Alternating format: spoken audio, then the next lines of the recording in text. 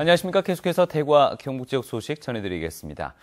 7월의 어, 첫날인 오늘 대구와 경북 지역은 비가 그친 뒤 무더위가 찾아왔습니다. 어제부터 내린 비는 오전에 대부분 그친 가운데 대구 13, 안동 6.5, 포항 16.8mm의 강우량을 기록했습니다.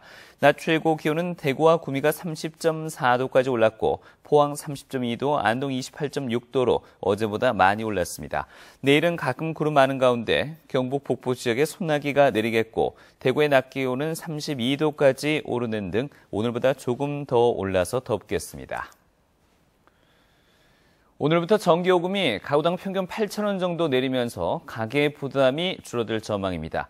아, 이 밖에 올 하반기부터 달라지는 것들을 권윤수 기자가 정리했습니다. 전기 요금이 많이 나올까봐 에어컨 틀기 겁난다는 가정에서 반길 소식입니다. 한국전력은 최근 유가 하락분을 반영해 오늘부터 석 달 동안 누진세 적용을 완화하기로 해 4인 도시가구 기준 월 평균 8,300원의 전기요금이 줄 것으로 보입니다. 8월부터 일부 산업용도 절감 효과를 볼 수 있습니다.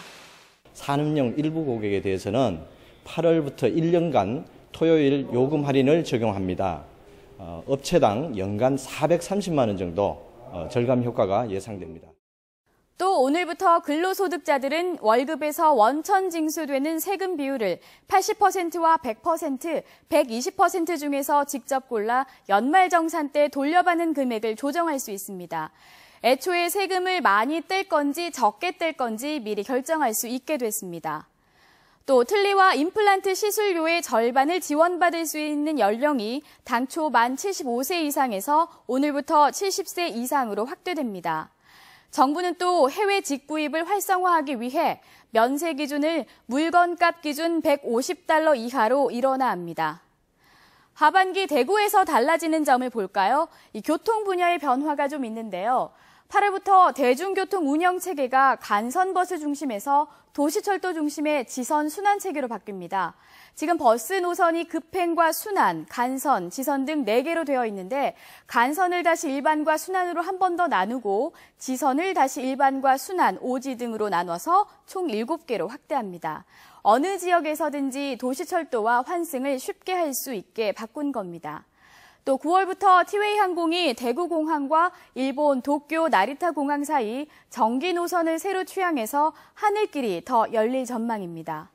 그리고 경상북도는 이달부터 전국 월 평균 소득이 150% 이하인 임산부가 조기 진통 등으로 입원 치료를 받으면 많게는 300만 원까지 지원해 주기로 했습니다.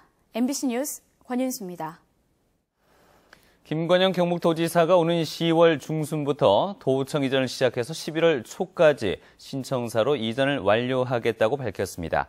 이전 규모는 도지사실을 비롯해 6국, 3실, 3본부 등 본청 소속 전 부서로 근무하는 직원만 1,400여 명에 이릅니다.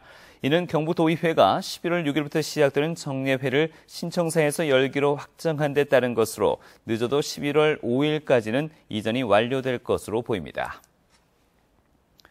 세계군인체육대회 조직위원회가 오늘 문경 국군체육부대에서 대회 본부 개소식을 갖고 현장 체제에 들어갔습니다. 대회 조직위는 위원장과 사무총장 아래에 기획본부 5개 부서와 운영본부 4개 부서로 구성되어 있으며 총 인력은 220명입니다. 조직위는 또 강남 스타일로 유명한 가수 스타일을 대회 홍보대사로 위촉하고 본격적인 대회 홍보에도 착수했습니다. 울릉군이 사업비 100억 원을 들여서 지난해 7월 완공한 국내 유일의 해중 전망대를 오늘 정식 개장했습니다.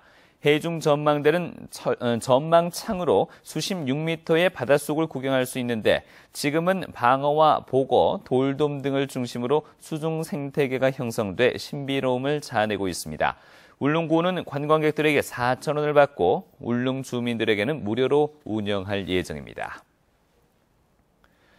정부가 영덕을 신규 원전 건설지로 사실상 내정하고도 이달 말까지 약속했던 구체적인 절차는 아직 내놓지 않고 있습니다.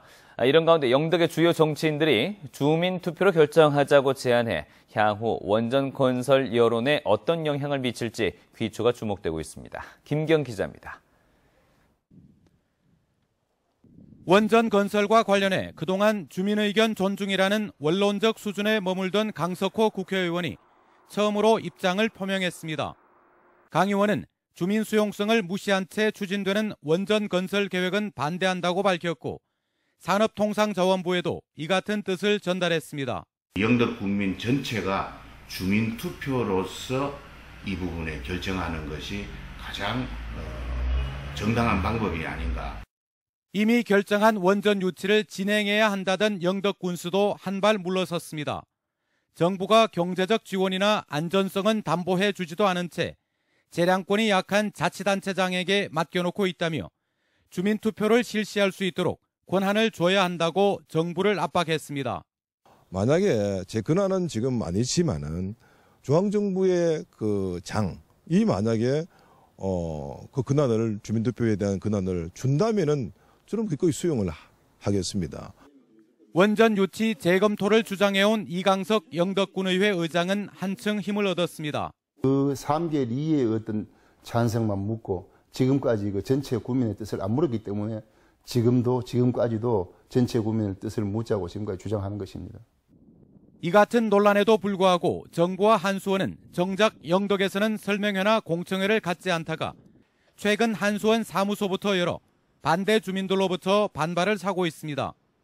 원전 현안이 코앞으로 다가왔지만 농번기에다 인구가 적은 지역 특성상 아직 찬반 활동이 불붙지는 않고 있습니다.